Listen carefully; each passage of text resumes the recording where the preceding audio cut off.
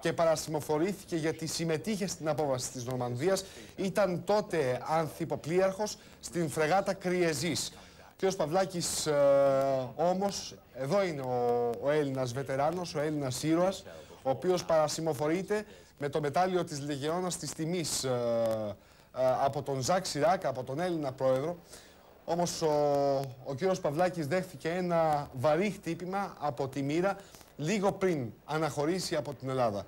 Στο, στις σκάλες του αεροπλάνου, την ώρα της ε, επιβίβασης, έμαθε πως η σύζυγός του, η οποία την προηγούμενη μέρα είχε υποστεί εγκεφαλικό επεισόδιο, δεν κατάφερε να κερδίσει τη μάχη και υπέκυψε. Πήγε όμως εκεί, συνέχισε το ταξίδι, σαν καλός στρατιώτης, όπως θα ακούσουμε το γιο του να λέει στο Άλτερ, γιατί έπρεπε να εκπροσωπήσει την Ελλάδα. Η συγκίνηση λοιπόν ε, δεν έχει να κάνει μόνο με την ε, παρασημοφόρηση, κάθε άλλο μάλλον έχει να κάνει με το προσωπικό δράμα για την απώλεια του ανθρώπου που ήταν στο πλευρό του τα τελευταία 40 ολόκληρα χρόνια.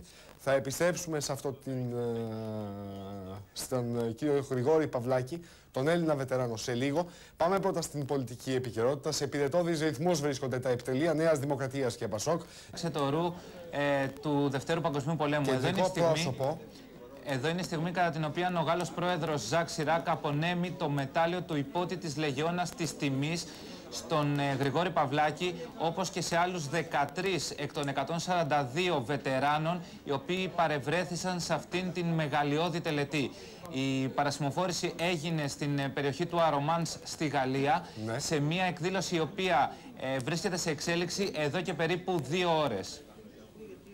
Κεντρικό πρόσωπο για μας σε αυτή την επιβλητική εκδήλωση είναι ο άνθρωπος που βλέπουμε, που βλέπουμε εδώ. Είναι, ο κύριος Γρηγόρης Παυλάκης, ο οποίος ε, γεννήθηκε το 1921. Να δούμε λίγο το βιογραφικό του. Στην ε, Πάτμο, το 1940, ύστερα από τρία χρόνια στην ναυτική σχολή, συμμετείχε ως σημεοφόρος στον Ελληνοϊταλικό πόλεμο. Το 1941 μετέβη στην Αλεξάνδρεια με το αντιτορπιλικό Σπέτσες και στη συνέχεια στην Ινδία με τις ελεύθερες γαλλικές ε, δυνάμεις. Ω ανθυποπλήραχος της φρεγάτας Κριεζή και ύπαρχος του πλοίου, συμμετείχε στην, στο πρώτο κύμα της απόβασης στις ακτές της Νορμανδίας, στις 6 έκτου του 44 σαν σήμερα πριν από, 40, από 60 χρόνια. Αν μου επιτρέπεις, Άκη, να αναφερθούμε λίγο σε αυτή την ιστορική ε, στιγμή και τη συμμετοχή του κυρίου Παυλάκη, όπως και των υπολείπων μελών των δύο ε, ε, ελληνικών πλοίων, τα οποία συμμετείχαν σε αυτήν την ιστορική στιγμή στην απόμβαση της Νορμανδίας. Ο κύριος Παυλάκης, λοιπόν, ήταν ανθυποπλοίαρχος και ύπαρχος του πλοίου Κριεζής, ενώ άλλο ένα πλοίο το οποίο συμμετείχε σε αυτήν την επιχείρηση ήταν το, το Μπάζης. Το πλοίο Κριεζής είχε ως απο... ήταν επικεφαλής 12 αρματαγωγών που μετέφεραν τα επίλεκτα τμήματα της περίφημης 50ης Βρετανικής Μεραρχίας τα οποία από τη μάχη έπρεπε να οδηγηθούν με ασφάλεια μέσα από τα γερμανικά ναρκοπαίδια στην ακτή Gold στη Γαλλία και να γίνει ουσιαστικά δηλαδή η σύνδεση της Αγγλίας με την ε, Γαλλία. Ε... Συντονίζει πάντως ε, αυτό που ξέρουμε. Το παιχνίδι της μοίρας, δηλαδή το παιχνίδι που έπαιξε η μοίρα στον Έλληνα βετεράνο, ο οποίος στα σκαλιά του αεροπλάνου, την ώρα που αναχωρούσε από το Ελευθέριος Βενιζέλος για τις ακτές της, ε, της Νορμανδίας, ε, για αυτή την επιβλητική τελετή, έμαθε πως η σύντροφός του, η σύζυγός του, τα τελευταία 40 χρόνια, υπέκυψε στο εγκεφαλικό που υπέστη μόλις, ε, μόλις προχθές. Ακριβώς, Άκη, 6 ε, Ιουνίου. Συνέχισε όμως να ανεβαίνει τα σκαλιά του αεροπλάνου, ε, διότι ένιωσε πως έπρεπε ως απλός στρατιώτης να βρεθεί σε αυτή την τελετή και να εκπροσωπήσει τη χώρα μας. Όπως προανέφερα και εξάλλου, ε, ο, ο Γάλλος πρόεδρος Ζακ Σιράκ παρασημοφόρησε μόλις 14 από τους 142 βετεράνους και, αυτού, και αυτό γιατί οι 14 αυτοί ήταν οι εκλεκτοί, ήταν αυτοί που είχαν τη μεγαλύτερη συνεισφορά, όπως τουλάχιστον εκτίμησε η Γαλλική Δημοκρατία, σε αυτήν την ιστορική στιγμή, την απόβαση της Νορμανδίας. Είναι συγκινητικό. Θέλω σε αυτό το σημείο να παρακολουθήσουμε τη στιγμή της απονομής του, του μεταλλίου από τον Ζακ Σιράκ στον ε, κύριο Γρηγόρη Παυλάκη και το τι του λέει ο Γάλλος Πρόεδρος. Capitaine de vaisseau Grégoris Pavlakis, au nom de la République française, nous vous faisons chevalier de la Légion d'honneur.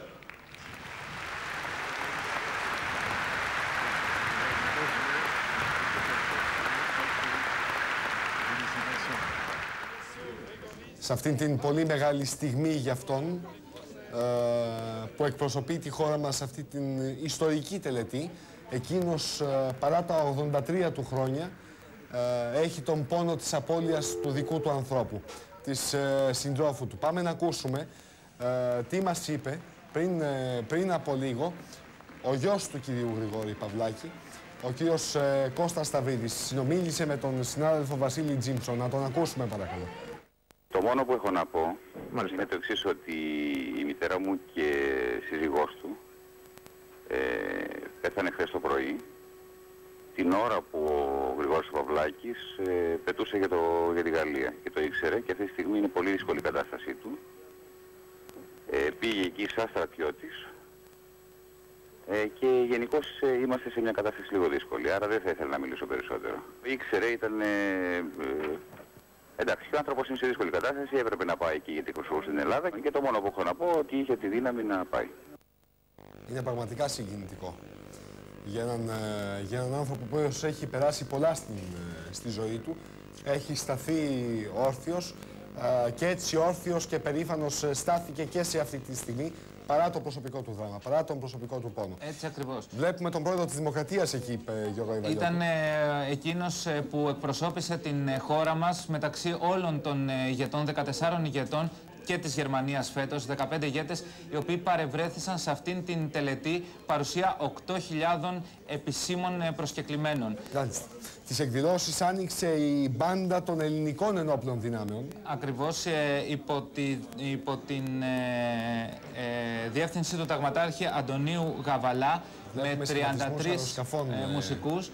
αυτά είναι γαλλικά μοιρά στα οποία σχηματίζουν, αφήνουν καπνό ε, με, την, ε, με της, ε, της γαλλικής ε, σημαίας. Είναι πάνω από την θάλασσα της Μάχης και εδώ είναι πλέον η στιγμή κατά την οποία το ελληνικό άγημα με την ελληνική σημαία ανακυματίζει. Ακριβώς. Ε, παρελάβει... Ακούσουμε παρακαλώ πολύ τον ήχο, αν, αν είναι εύκολο.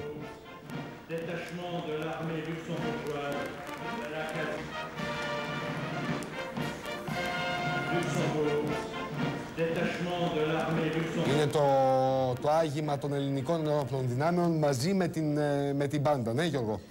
Ε, το οποίο παρήλασε, όπως ε, προανέφερα, μπροστά από 8.000 επίσημους προσκεκλημένους.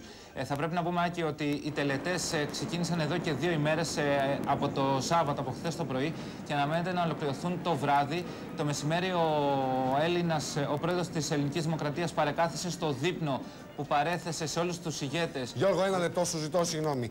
Διότι έχουμε στην τηλεφωνική μας γραμμή τον κύριο Γρηγόρη Παυλάκη. Κύριε Παυλάκη, μας ακούτε; Κύριε Παυλάκη, μας ακούτε; Έβλεπαμε τον ακόλουθο που είναι εδώ. Κύριε Παυλάκη. Ε; Κύριε Παυλάκη. δεν ακούω. Δεν ξέρω. Είναι από Κύριε Παυλάκη, μας ακούτε. Δεν ακούτε γιατί είναι ακόμα συνεχίζεται η αυτή η ορτή και έχουν αρχίσει τα τραγούδια. Τώρα είναι ενημιδιανήτη αυτή την ώρα. Πάντως πες μου, αν μπορείς να πιάσω τους τι θέλετε θα σας πω. Κύριε Παυλάκη, με ακούτε τώρα; Μόνο μου, δεν ακούω. Δεν, μπο, δε, δεν δε... μπορείτε να πάρετε από κανένα άλλο τηλέφωνο δεν, που σας ακούγεται καλύτερα. Δεν με ακούτε καλά; Κοιτάξτε, δεν κάνουμε όλοι Είναι δύσκολο, είναι δύσκολο να ακούσει ο κ. Παυλάκης, διότι και πολύ θόρυβο έχει εκεί όπου βρίσκεται και η γραμμή φαίνεται πως δεν είναι καλή. Θα προσπαθήσουμε να τον καλέσουμε ξανά. Θα προσπαθήσουμε να καλέσουμε αυτόν τον, τον σημαντικό Έλληνα, τον ξεχωριστό Έλληνα, τον περήφανο στρατιώτη, ο οποίος βρίσκεται στην τελετή της Νορμανδίας για, την, για τα 60 χρόνια από την απόβαση των συμμαχικών ε, Θα πρέπει να πούμε, Άκη, ότι ο ρόλος του κυρίου Παυλάκη ήταν εξαιρετικά σημαντικός, αφού αποτελούσε ουσιαστικά ε, το σύνδεσμο σε μια ομάδα εργασίας, διεθνή ομάδα εργασίας, ανάμεσα στις ελληνικές, γαλλικές, βελγικές και βρετανικές δυνάμεις. Ενώ πριν την απόβαση της ε, Νορβα... Ε, Νορμανδίας, ε, μετήχε στην Αλεξάνδρεια με το αντιτορπιλικό Σπέτσες και στη συνέχεια στην Ινδία με τις ελεύθερες γαλλικές δυνάμεις. Ας μείνουμε εδώ προς το παρόν. Να σας ευχαριστήσω πολύ Γιώργο Ευελιώτη. Θα επανέλθουμε αν, ε, αν καταφέρουμε να αποκαταστήσουμε την επικοινωνία με τον κύριο Γρηγόρη Παυλάκη. Τις πληγές τους μετρούν οι κάτοικοι και κυρίω. Μάθε το θάνατο της γυναίκας του. Είναι μια τραγική φιγούρα αυτή τη στιγμή. Τον βλέπουμε δακρυσμένος να πλησιάζει στο Γάλλο Πρόεδρο, ο οποίος ήταν παρασυμμορφωθεί. Λίγο νωρίτερα πριν, ε, λίγα δευτερόλεπτα πριν, έμαθε για το, θάνο, για το θάνατο της, ε, της γυναίκας του. Ε, δε, αυτή τη στιγμή τον βλέπουμε κοντά ε, στην, ε, στο Γάλλο τον Πρόεδρο. Ε, και... Μάλιστα. Είναι πραγματικά ένα χτύπημα της μοίρας για τον άνθρωπο αυτό. Είναι ένας ήρωας ο κύριος Γρηγόρης Παυλακάκης, ο οποίος γεννήθηκε το 1921 στην Πάτμο. Από την Πάτμο κατάγεται.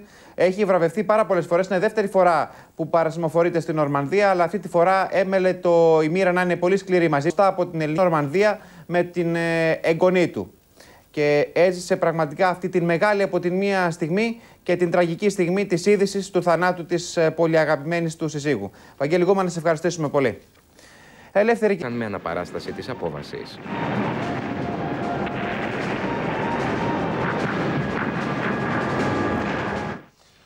Σοβαρά κινδύνευσαν τη νύχτα τέσσερις κτηνοτρόφοι που του Βερολίνου για το ρόλο που διαδραμάτισε